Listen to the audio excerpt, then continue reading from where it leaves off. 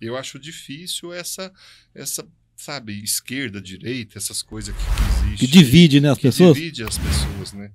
Sendo que a gente é ser humano e todo mundo vai no mesmo mercado, vai na mesma farmácia, né? Todo mundo chora, O- todo mundo ri, todo mundo toma cerveja, outros não tomam, toma suco. E é, essa polarização esquerda e direita é muito ruim para o Eu- país. Eu tenho essa uma, divisão. Isso, eu tenho uma visão sobre, sobre a política brasileira que é a respeito do, do Cosme. Você vai na, na, na nossa política, é impossível um presidente só ele pensar em fazer algo bom para o país. Porque, primeiro, é, contra ele tem ali uma equipe de, de, de- de deputados federais, de senadores, que pensam em ter o poder na mão. Do lado dele tem a equipe dele que quer continuar no poder. E sempre vai haver essa briga. Então eu acho que o nosso sistema político, ele é um pouco fracassado. Porque ele já começa, o cara já inicia o mandato sem ter os 513, depu- 513 deputados lá torcendo a favor do Brasil. Porque o cara, quando ganha, ele fala, vamos torcer a favor, independente de quem ganhar. Mas quando chega lá dentro, não, nós vai trabalhar quatro anos para derrubar esse cara. Você vê que o Bolsonaro começou o ano, o mandato dele, os caras falando em impeachment. É, a mesma coisa foi a Dilma. A Dilma sofreu um impeachment, Collor sofreu impeachment, e às vezes por conta disso. Porque o nosso sistema político, o cara já começa a governar com uma grande, com metade do time contra ele. Oposição, tal de oposição. É, e o sistema presidencialista, o cara não adianta chegar lá e falar, eu sou o cara. Eu vou dar conta de fazer Eu sem vou dar deputado. conta. Ele tem o deputado federal, ele tem o senador, ele depende. Se o cara vetar, ele tá morto. Né? Se não aprovar, ele tá morto. Não adianta a intenção dele. Tem todo um sistema Sim, por trás, sim. né? Então a gente não pode condenar o presidente. Tem, se for condenar, tem que ser é um, é um conjunto, né? É um tem que conjunto. observar quem que votou contra aquele, aquele projeto, aquela matéria, né? O cara que, que, que foi lá e falou, falou, que, né, que fez conspiração, tem todo um conjunto, não é só um cara. Com certeza. A política, ela é, é a mesma, por exemplo, pouca gente sabe que dos 500, eu acho que esse número, eu talvez não acerte o número, mas dos 513 deputados federais, apenas 26 foram eleitos com votos suficientes para ele ser eleito. O restante foi tudo por coeficiente. É a falsa Foi- democracia. É a falsa democracia. É que é Existe, está no livro, está no livro chamado Democracia, o Deus que falhou. A partir do momento, primeiro, eu vou falar uma coisa aqui que é polêmica para muita gente, eu não sei se quero saber se você concorda com isso, Ricardo. É, a democracia é um Deus que falhou por quê? Sócrates falava, ele era contra a democracia e ele pregava em praça pública porque era contra a democracia, porque ele falava: quem deve escolher os nossos governantes são os inteligentes e intelectuais. Porém, quem escolhe é a maioria, e a grande maioria não é composta por intelectuais inteligentes, e sim por pessoas incapazes. E no Brasil é do mesmo jeito. Quem escolhe os nossos governantes é a grande massa. E a grande massa muitas vezes não está preparada para fazer isso que você falou. Eu vou lá pesquisar quem que é o deputado melhor aqui. Deixa eu ver o que, que esse deputado fez. Deixa eu ver quais os projetos desse deputado aqui. A grande massa escuta o discurso durante uma eleição. É. A grande massa, eu acredito que agora não está nem escutando os discursos dos pré-candidatos. Tá esperando, não. Quando chegar a campanha, eu Mas escuto. acontece isso sempre. Esse, esse que é o problema. O pessoal espera começar para ver. Não faz uma análise e tal. É muito difícil política por isso. Às vezes as pessoas não fazem uma análise do perfil da pessoa.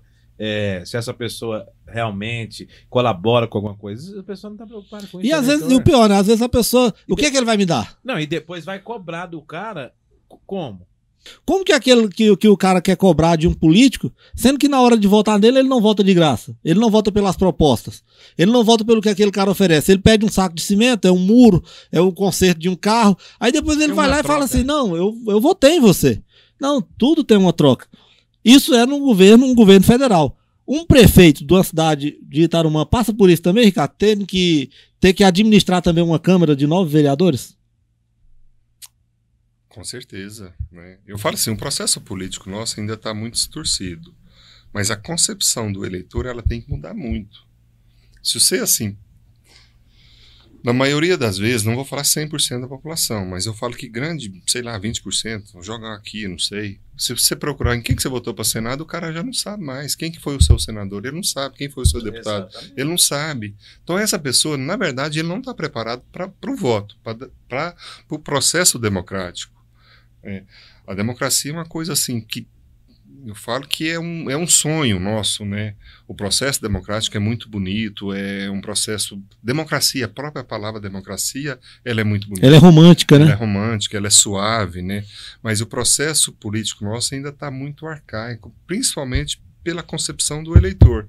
Esse eleitor que te pede para votar, né, como que ele quer que o prefeito ou o governador ou o presidente seja um espelho de honestidade? Como que ele quer que um deputado estadual de Goiás faça por ele, sendo que um deputado de Goiás tem que gastar 6 milhões para Pra ser eleger? eleito, né? Sendo o cara É, é. passado oito anos sendo deputado, ele não tira esse dinheiro de volta. Assim, as- mas as pessoas, assim, de modo geral, as pessoas de bem, que quer uma cidade melhor, ele não te pede isso. A pessoa que te pede isso é o, fa- é o individualismo. Ele pensa em, nele. Ele está pensando momentaneamente nele. Ele não pensa no coletivo. Isso acho que a gente tem que mudar muito isso. Mas isso muda através da, da, da, da educação das pessoas, né? da própria cultura do país, que ainda ela está muito, sei lá, arcaica, ainda a gente tem que evoluir muito ainda. Num país desenvolvido é totalmente diferente, né? A pessoa não joga um papel de, de, de balinha na rua. Uhum. meu carro é um chiqueiro porque eu jogo só dentro do carro. É, pelo não menos. tem Você não coragem joga na de- rua, né? A Copa do Mundo mostrou quando nós É. estamos Ah, fora disso. isso, né? Os japoneses limpando o estádio depois do jogo. É, é, e, e nessa própria pandemia, alguns países mostrou que quando falou que ia a crise de arroz lá do mercado, muitas pessoas iam lá, tinha dinheiro e comprava só o essencial. O brasileiro não, ele vai lá quer comprar É, tudo, quer né? comprar tudo. E depois que quer tem vender dinheiro. mais caro Hum, ainda, É, Uhum. né? é. A crise do, do, do, do, do- quando- do- do combustível, que, que agreda com os caminhoneiros, o cara comprava 200 litros de óleo, 200 litros de gasolina e queria vender por três vezes mais. Então, assim, na Vantagem essência, é, ganhar na cima, essência né? nossa do brasileiro, a gente quer tirar proveito de tudo. Isso é errado. E Pra mim, o problema da política não é o político, é o eleitor. Não é. Como. Eu, eu, eu não entendo assim, a, eu não entendo. Tipo assim, tem um deputado lá, um senador, que ele pôs uma lei que vai cobrar o imposto em cima da gente. Certo? Aí vem o, o presidente, sanciona uma lei pra tirar aquele imposto. O cara vai lá e, com a turma dele, derruba aquele imposto pra nós pagar ele. E tem gente que ainda vota num cara desse.